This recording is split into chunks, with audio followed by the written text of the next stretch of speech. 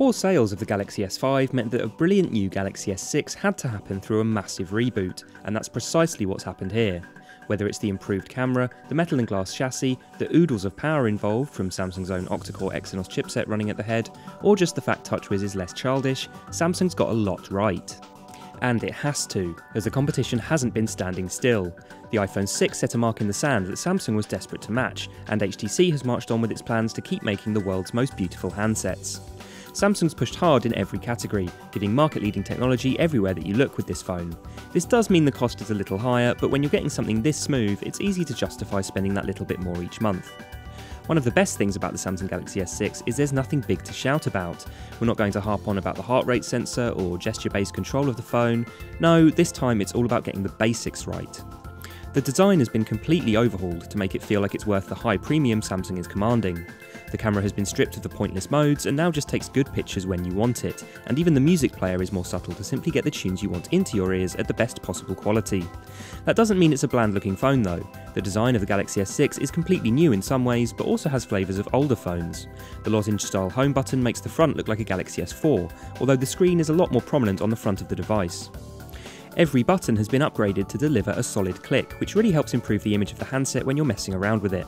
The power button is just where we wanted it to be, and the volume keys on the other side deliver a satisfying travel when you're looking to boost the noise. Hidden behind the home button is Samsung's upgraded fingerprint scanner, and it's a corker. Previous attempts have fallen way short, but the offering on the S6 is the best on the market. The screen on the Samsung Galaxy S6 is something to shout about, as it's got the sharpest display on the market. A QHD resolution in a 5.1 inch space. We're in love with the jaw dropping visuals this thing can deliver. It's actually at the point of too much tech, although we'll never admit that's a thing, as sometimes it's hard to see what the crammed in pixels actually deliver. However, Samsung's Super AMOLED technology more than makes up for that, offering brilliant visuals thanks to an almost infinite contrast ratio and really rich colours. If we're talking about design, we should really pick up on the camera, as it's one of the most advanced we've seen on a mainstream phone. At 16 megapixels, it's not going to rival something like the Nokia Lumia 1020's 41 megapixel sensor, but it doesn't need to.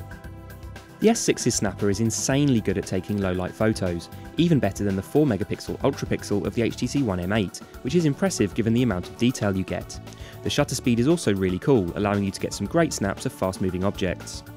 4K, slow motion, fast recording are all there too, offering up some seriously good tricks for all kinds of videographers as well, so this is a camera that's almost completely got you covered. The camera module itself does protrude a little bit from the back of the achingly thin device, a consequence of having to choose between style and function, so we're a little worried the lens will get scratched over time, despite Samsung trying to reassure the world that it's been covered with some pretty strong glass. If we were to point to a hole in the Galaxy S6's armour, battery life would be it. The phone has slimmed down, got a better design, taken away the removable battery pack, and ultimately lost space for power.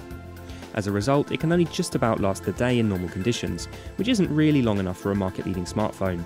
It's not going to just turn to dust in your hands daily, and for many tasks it's as good as the next phone, but the LG G3 and the Sony Xperia Z3 both offer much longer lasting power packs.